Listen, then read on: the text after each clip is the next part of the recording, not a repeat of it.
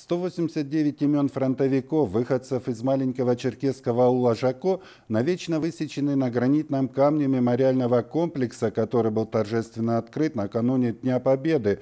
116 из них погибли в годы войны, 73 вернулись с фронта победителями. Фатима Даурова ознакомилась со списком героев. Предпраздничный день в Жако выдался не менее торжественным и полным эмоций. Аульчане несколько лет ждали этого момента – открытия обновленного мемориального комплекса, посвященного участникам Великой Отечественной войны. На торжестве присутствовали члены правительства Карачаева-Черкесии, депутаты Народного собрания, представители общественных организаций и духовенства, гости и жители Хабесского района. С приветственными словами к присутствующим обратились спикер парламента Республики Александр Иванов и министр труда и социального развития Карачаева-Черкесии Руслан Шаков. Все те люди, наши предки, отцы, деды, прадеды, которые прошли фронтовыми дорогами Великой Отечественной войны, защищая мир от фашизма, как никто друг, другой достойный народной памяти. Они, их подвиги живы, пока их помнят и чтут.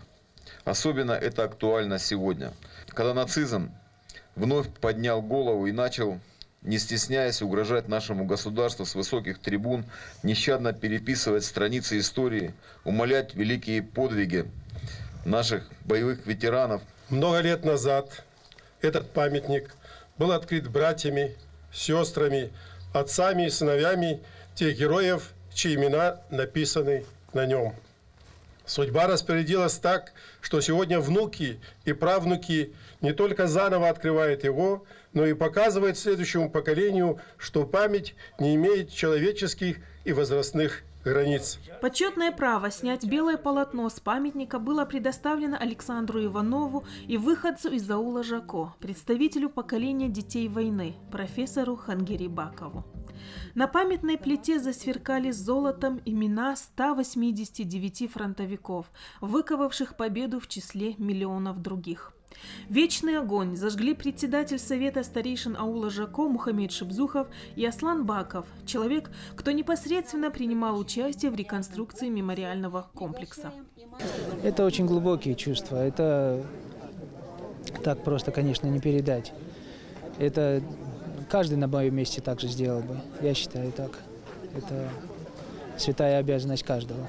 В ходе мероприятия от имени главы республики Рашида Тимрезова прошло награждение именитого земляка, члена Союза писателей России Хангири Бакова в честь юбилейной даты – 80-летия. Впервые здесь э, не только погибшие означены граните, но и участники войны.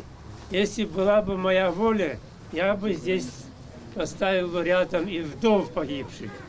Они были на двух фронтах – без мужей воспитывали детей и занимались непосильным колхозным трудом. За активное участие в строительстве памятника заслуженный строитель Карачаева-Черкесии Аслан Баков был удостоен почетной грамотой Комитета Совета Федерации Федерального собрания России по обороне и безопасности. Память погибших односельчан участники митинга почтили минутой молчания. И в считанные минуты подножие памятной стены было усеяно возложенными цветами в знак памяти и почтения.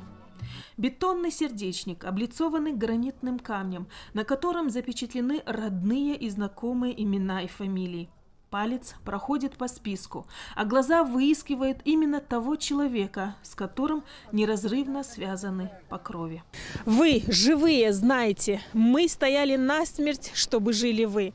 Вечный огонь, место силы и памяти. Силы, потому что языки негасимого пламени – это свет миллионов сердец, бившихся во имя жизни. Фатима Даурова, Мухаммеда Шибока, Вести, Карачаева, Черкесия.